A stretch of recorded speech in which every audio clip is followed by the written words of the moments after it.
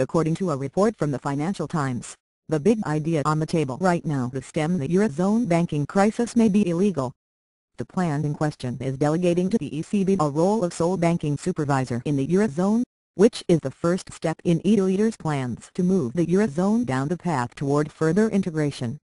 The FT's Alex Barker says the newspaper obtained a secret legal opinion from the EU's top legal advisor saying as much, the paper from the EU Council's top legal advisor obtained by the Financial Times. Thank you for trying verbose. This recording will go away once the product has been purchased. Argues the plan goes beyond the powers permitted under law to change governance rules at the European Central Bank. The legal service concludes that without altering EU treaties it would be impossible to give the Bank Supervision Board within the ECB any formal decision-making powers as suggested in the blueprint drawn up by the European Commission. That could throw the wrench in the whole Spanish rescue which includes the big recapitalization of troubled Spanish banks from the EU's new bailout fund, the ESM. However, European leaders, most notably Wolfgang Schäuble recently, have been publicly discussing the prospect thank you for trying verbose. This recording will go away once the product has been purchased of rewriting treaties in order to move more power toward the center the EU and ECB and away from national governments.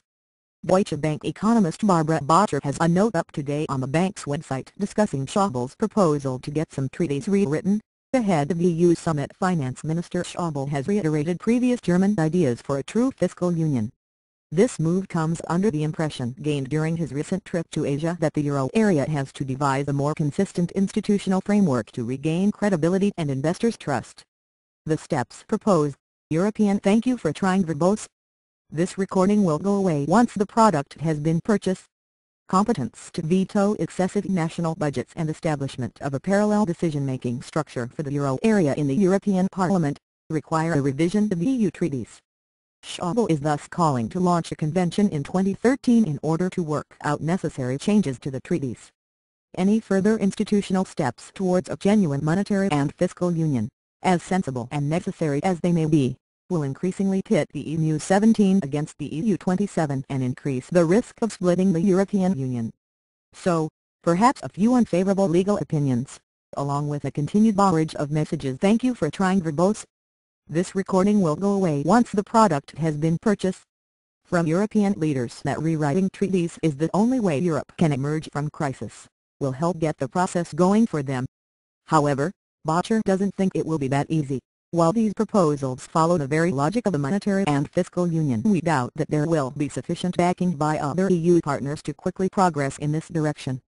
This might be true also for the German public as polls today revealed that two-thirds of the respondents oppose further transfers of competence to the European level. The proposals will also raise thank you for trying verbose. This recording will go away once the product has been purchased.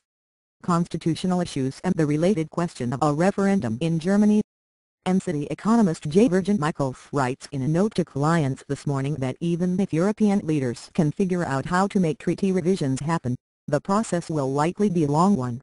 The proposal from Schäuble would involve a substantial transfer of power to Brussels, which is unlikely to get through without additional support measures.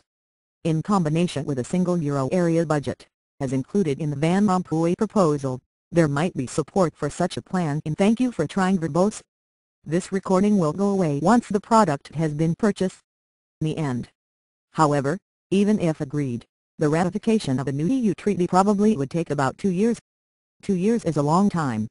European Council President Herman Van Rompuy, who laid out a vision for European banking union over the summer, struck a decidedly more urgent tone, writing, the current architecture should evolve as soon as possible towards a single European banking supervision system with a European and a national level.